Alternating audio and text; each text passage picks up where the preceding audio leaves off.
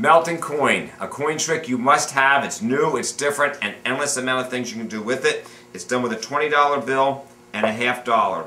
Half dollar and a 20.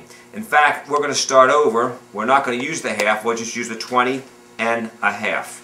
If you blinked, you missed it. We're going to try it again. We take the half, let's start over. Let's use the $20 bill and the half. Once again, if you take the $20 bill and the half squeeze, look what you have. It actually melts, or it looks like it melts right through the bill.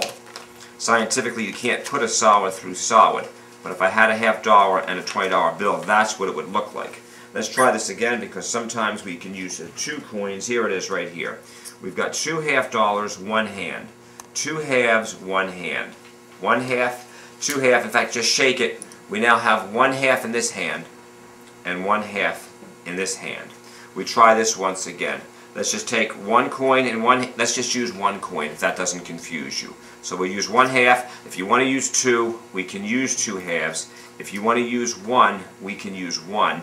If you blink, you miss it because the other one is now right there underneath the $20 bill.